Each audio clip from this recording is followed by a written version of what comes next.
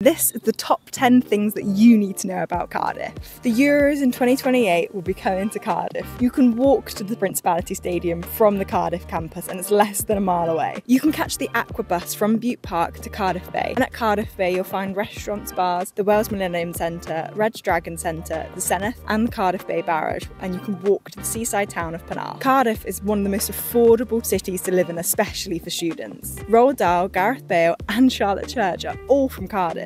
Spillers in Cardiff is the world's oldest record store. It's been in business for over 125 years and you can find it in the Cardiff Arcade. Sex Education, His Dark Materials, Doctor Who, Sherlock, and Gavin and Stacey all have one thing in common, and that they're all TV series that feature scenes that were shot in Cardiff. Cardiff has many attractions to keep you occupied in your spare time, many of which are free. You can visit St Fagans National Museum of History, Cardiff Castle, National Museum of Cardiff, Bute Park, and Roath Park.